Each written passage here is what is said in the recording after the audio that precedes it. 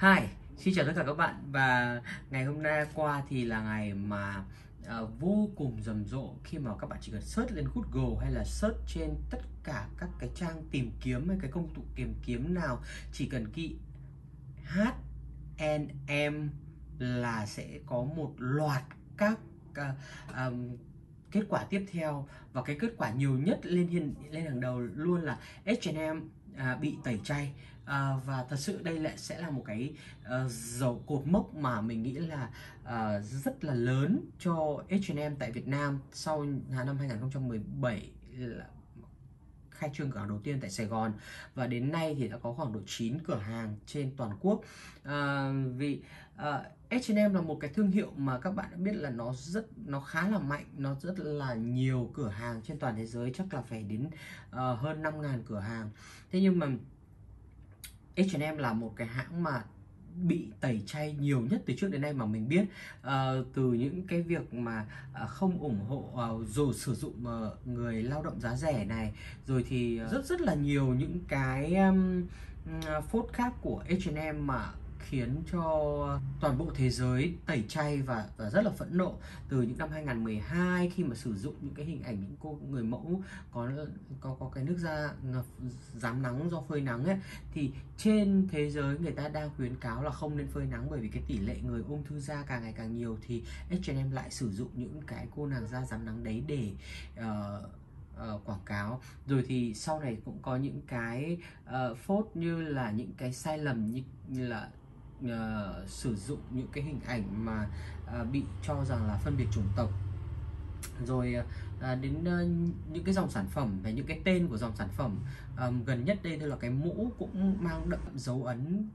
uh, phân biệt chủng tộc kỳ thị uh, và đã phải chịu rất là nhiều cái hậu quả. Uh, và à, đến năm 2018 là gần nhất là là là cái phốt mà ừ, cho một chú bé da màu mặc chiếc áo trên hình có ghi là một chú khỉ. Uh,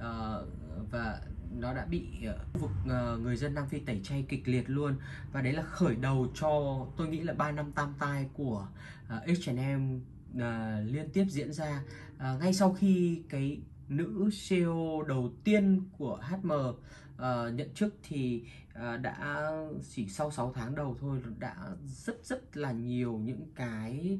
uh, câu chuyện uh, không vui xảy đến H&M à, và tôi, tôi không biết là rằng rằng đây có H&M có phải là cái thương hiệu mà đã phải chịu đựng những cái mất mát tổn thất lớn nhất trên thế giới trong 3 năm vừa qua hay không? Nhưng mà rõ ràng là à, nói vui vậy là thì à, trong khởi điểm của 3 năm tam tai của H&M thật sự là kinh khủng. Vào uh, cuối những năm 19 thì 2019 thì uh, H&M đã có những cái phốt uh, Ừ, liên tiếp rồi thì đã chịu rất là nhiều cái tổn thất là uh,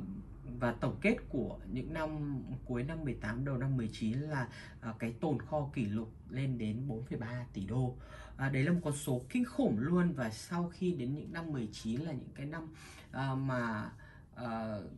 đi giải quyết được những cái hậu quả của cái việc là uh, như uh, cổ phiếu tụt dốc này rồi thì hàng loạt các cửa hàng hàng loạt các uh, uh, sự cố xảy đến với H&M thì năm 2020 bắt đầu uh, là khi mà đã chớm dịch bùng nổ thì ngay đầu năm cái quý 1 đầu năm của những năm 2020 H&M đã phải uh, đóng cửa hàng loạt các cửa hàng. Tất nhiên là đóng cửa tạm thời cho dịch bệnh thôi nhưng mà đóng đến 80% các cửa hàng trên toàn thế giới uh, trong 80% của tổng của cái 5.000 cửa hàng ấy, thì thực sự đấy là một con số kinh khủng luôn các bạn có thể tưởng tượng đó chính vì vậy mà nó sẽ ảnh hưởng đến doanh thu rồi nó kéo theo rất rất nhiều thứ. Và điều đặc biệt đấy là cái cổ phiếu tụt mà xuống đến 50% giá trị mà là một cái con số mà không ai có thể ngờ tới. Và cho đến những uh, rồi thì uh, hàng loạt những cái cửa hàng đóng cửa và kéo theo là uh, rất là phải đến trong cái năm dịch bệnh 2020 thì đến tận, phải đến 300 cửa hàng đóng cửa hẳn luôn và phải đến 16.000 nhân viên phải buộc thôi việc. Nó là một con số kinh khủng mà một một cái sự tụt dốc vô cùng thảm hại. Và đến ờ, đầu năm 2021 này thì chỉ mới đầu năm thôi thì H&M đã phải chịu đựng được, phải chịu đựng rất kinh khủng. Bởi vì cách đây 2 tuần thôi đã chịu một cái cái cú sốc rất lớn. Uh, tất nhiên là cái cú sốc này nó ảnh hưởng bởi uh, chịu bởi cái uh, phốt của năm 2020 là đã phải đã đã lên một cái tuyên bố là không sử dụng uh, những um, sợi bông được lấy được làm ra từ uh, uh, của Trung Quốc. Mà uh, có lẽ là người uh, nữ CEO 47 tuổi của mới của H&M đang cố gắng giải quyết tất cả những uh, uh, tàn dư của H&M trước đó là những cái phốt về sử dụng lao động uh, bóc lột sức lao động của người dân này hay là giả rẻ này. Chính vì vậy mà cô rút kinh nghiệm trong cái việc mà uh, người dân lao động của uh, thu hoạch bông của Trung Quốc bị bóc lột sức lao động nên cô đã đưa ra một cái ý kiến là không sử dụng cái nguyên vật liệu đấy. Khi mà bị và khi đấy thì à, ngay đầu năm nay thôi thì dân Trung Quốc đã đưa ra một cái quyết định tẩy chay H&M và thật là khủng khiếp khi mà cái vị trí uh, tất cả những cái vị trí của hơn 500 cửa hàng tại Trung Quốc. Thì các bạn biết là nó là một con số rất là dã man khi mà 500 cửa hàng đó khi mà họ search ở trên các cái um, định vị bản đồ của các cái phần tìm kiếm của như kiểu Alibaba hay là à, Baidu của Trung Quốc ấy thì hoàn toàn là không còn 500 cái cửa hàng đấy nữa. 500 cái cửa hàng đấy là bị biến mất luôn khỏi cái bản đồ đó. Và trên toàn bộ tất cả những cái nền tảng thương mại điện tử của Trung Quốc thì uh, đều không có um, danh sách của H&M mặc dù là tất cả những cái đối thủ cạnh tranh thì vẫn còn. À, thực sự là quá khủng khiếp và uh, H&M đang cố gắng để cứu vãn lại cái việc đó và cũng uh, trở mặt với cái uh, tuyên bố trước đó và đã um, ủng hộ những cái yêu cầu của dân Trung Quốc là đã thay đổi bản đồ uh, của dân Trung Quốc trên cái hệ thống của H&M và nó đã dẫn đến cái câu chuyện của ngày hôm qua. Mọi thứ đã bùng nổ tại Việt Nam tất cả mọi người đã đã đã tẩy chay đã kinh khủng đã thật sự là đã rất là rầm rộ và chưa bao giờ tôi thấy dân Việt Nam tẩy chay một cái thương hiệu thời trang nào nhiều đến như thế và dữ dội đến như thế. Ngay kể cả những cái người mà uh, những cái người mà yêu thời trang ở trên toàn thế giới thì cũng không thể nào mà chấp nhận nổi cái việc mà H&M dở mặt nhanh như vậy. Bởi vì trước đấy thì các hãng thời trang như kiểu Adidas hay Nike vẫn uh, ủng hộ cái việc là uh, tẩy chay cái chất liệu bông mà được làm uh, được lấy từ được ừ, do Trung Quốc cung cấp ấy. Thì uh, cũng bị ảnh hưởng bởi người dân Trung Quốc tẩy chay rất là nhiều các cái hãng thời trang mà đã ủng hộ H&M nhưng mà bây giờ thì H&M đã quay trở lại để để trở mặt. Bởi vì là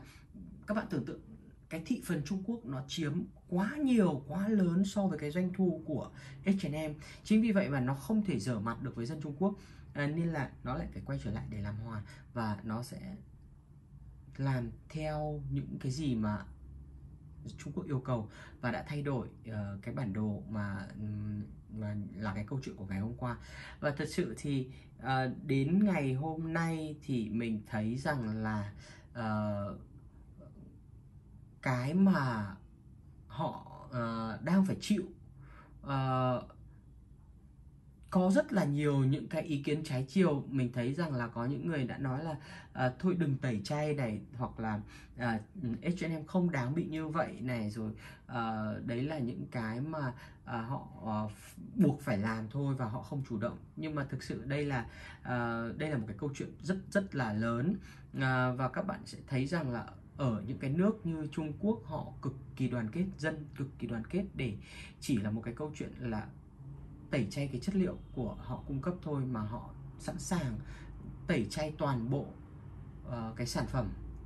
cái thương hiệu đấy. Uh, còn ở Việt Nam thì họ đang làm sai họ đang bất chấp cái việc là đưa một cái thông tin là hoàn toàn không đúng sự thật về Việt Nam. Mà như vậy thì uh, thiết nghĩ là chúng ta có nên có một cái phương án gì hay có một cái biện pháp gì đối với H&M hay không? À, và cái câu trả lời này mình nghĩ là sẽ là cả một cái bài toán rất là phức tạp và mình sẽ đón chờ xem là um, nó sẽ đi đến đâu. Và thời lượng clip đến đây là kết thúc và hẹn gặp lại tất cả các bạn vào clip à, tuần tới. Chúc các bạn một à, ngày cuối tuần thật sự là vui vẻ và thoải mái.